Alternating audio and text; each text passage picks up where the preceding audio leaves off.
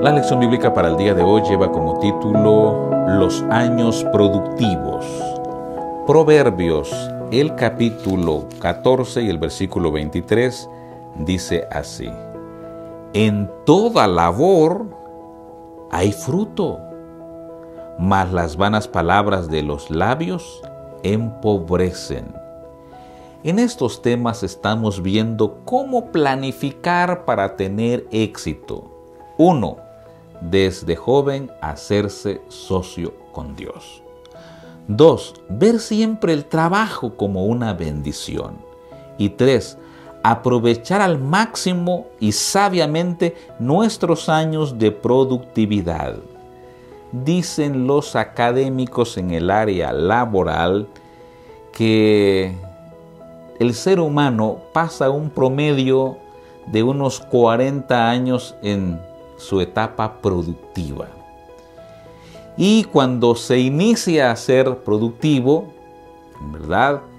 O cuando se inicia ya con las labores, es cuando se empiezan a ver, como dice el proverbio, los frutos.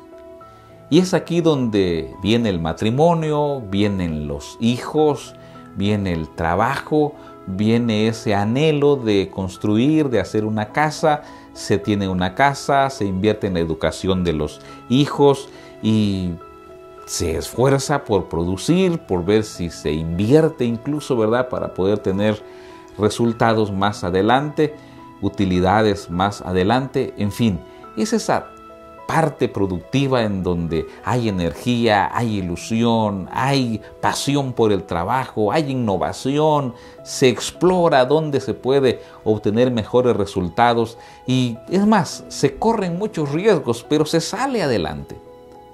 Por supuesto, esto también trae sus riesgos. Y uno de los riesgos que trae es de pronto dedicarnos demasiado a buscar los resultados porque nos gusta ser productivos y descuidar de pronto nuestra familia o nuestros seres amados. O lo que es más importante aún, descuidarnos de la relación con Dios, de la comunión con Dios, del servicio a Dios, de la adoración a Dios, de esa comunión con Dios. Por eso la palabra del Señor recomienda en 1 Timoteo 5:8 porque si alguno no provee para los suyos, y mayormente para los de su casa, ha negado la fe y es peor que un incrédulo. Así que hay que ser productivos, pero también atender a los nuestros, a nuestra familia.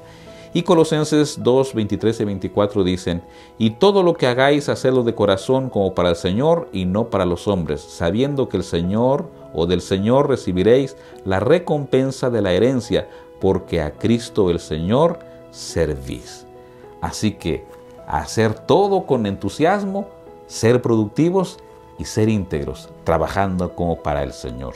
¿Qué lecciones podemos sacar de esto? Tres lecciones podemos aprender. La primera, hoy día muchas veces trabaja el papá y la mamá si ambos lo hacen, pero ambos son cristianos fieles a Dios en seguir los principios bíblicos de una buena administración financiera, esta etapa de productividad será grandemente abundante y vendrá una vejez digna y con lo necesario para suplir las necesidades. Segunda lección. En la época de la productividad pueden surgir circunstancias inesperadas, enfermedad, recesión económica, pandemias, por ejemplo, que dificulten el ideal. Por eso es necesaria una dependencia total de Dios, porque Dios siempre proveerá lo necesario. Y finalmente, en esta etapa de productividad, el objetivo de los padres cristianos es educar a sus hijos para que se conviertan en adultos independientes en esta vida y prepararlos para la vida eterna. Que eso pueda ocurrir en tu vida y con tu familia, en mi vida y con mi familia. Dios te bendiga. Soy Eber Roblero. Recuerda, hoy es el día de tu salvación.